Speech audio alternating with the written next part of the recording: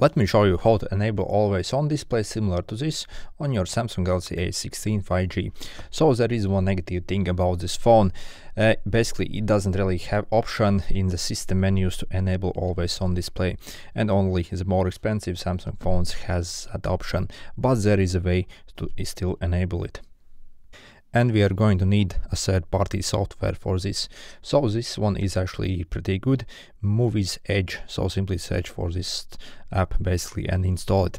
I have been using it on the previous A15 as well, as that also doesn't have always on display, and this actually works really good. So let's open it up and make sure to give it the necessary permissions.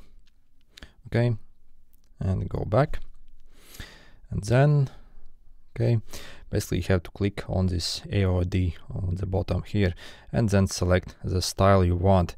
Uh, some of the styles are actually paid ones so but uh, the free ones as you can see there are still a lot of free ones. So simply select uh, the style you want and click it.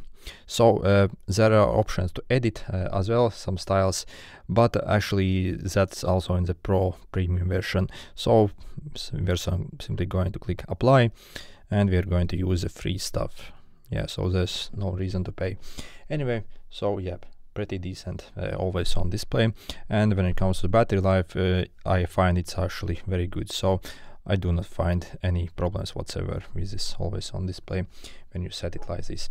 Anyway, it's kind of ridiculous. Samsung doesn't include a way to set always on display on these budget phones. That's completely ridiculous.